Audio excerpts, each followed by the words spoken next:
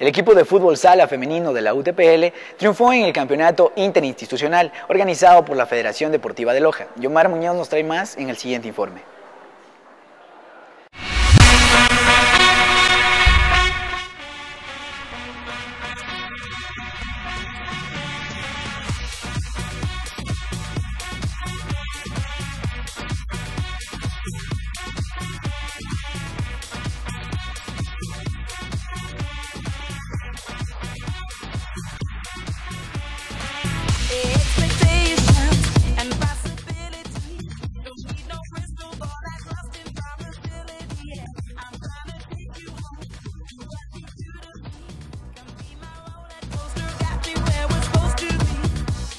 Nosotros nos hemos entrenado aproximadamente dos meses y medio, todos los eh, lunes, miércoles y viernes. Eh, es un sentimiento muy emocionante.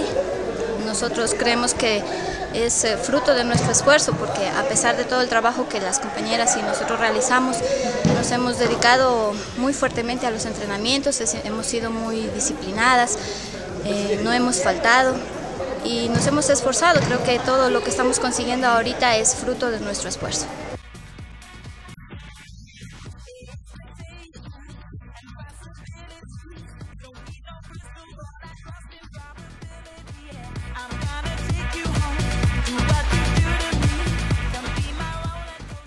Dos.